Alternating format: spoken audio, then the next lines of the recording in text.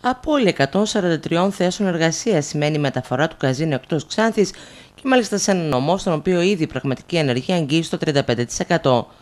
Με δεδομένη αυτή την κατάσταση, το Εργατικό Κέντρο Ξάνθης, με επιστολή του προς την Υπουργό Τουρισμού Όλγα Κεφαλογιάννη, επισημαίνει την ανάγκη η επιχείρηση να παραμείνει εντός των ορίων του νομού. Ε, μετά από παρέμβαση του Πρόεδρου του Καζίνου, ε, ο οποίος τυχαίνει να είναι και μέλος του Διοικητικού Συμβουλίου, καταλάβαμε κι εμείς ότι με την κατάσταση της, ε, του, του καζίνου εκτός νομού θα έχει απώλεια 143 θέσεων. Ε, αυτές οι θέσεις θα πείτε τώρα γιατί να είναι εδώ.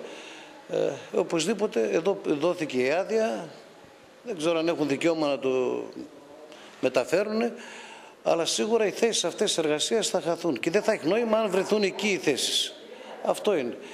Δηλαδή και η, κρίση του Διοικητικού Συμβουλίου του Σωματείου του Καζίνου είναι αυτή. Αυτό το έχουν επισημάνει και έχουν, έχουν επανειλημμένα σε δύο προηγούμενους υπουργούς προηγούμενων κυβερνήσεων είχαν πει ότι πρέπει να παραμείνει στα όρια του νόμου.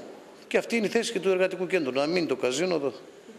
Έτσι λοιπόν κάνατε και εσείς την ενέργεια αυτή και στείλατε την επιστολή. Στην ουσία εμείς στηρίζουμε την, ε, την απόφαση του Διοικητικού Συμβουλίου των Εργαζομένων στο καζίνο. Ζητάτε και εσείς να μείνει εντός των ορίων της πόλης; Ε, οπωσδήποτε. Η εφέμαξη που έχει γίνει από τα εργοστάσια στο νομό μας είναι μεγάλη. Αν φύγει και το καζίνο είναι ένα ακόμη πλήγμα. Οπότε λοιπόν το εργατικό κέντρο μαζί με...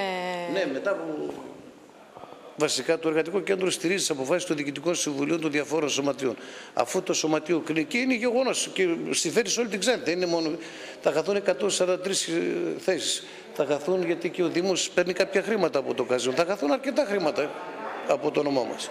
Και γίνεται αγώνας. Πιστεύω θα, θα συμβάλλει και, το... και η Δημαρχία και ο Δήμος στην παραμονή του καζίνου εντός των ορίων του νομού.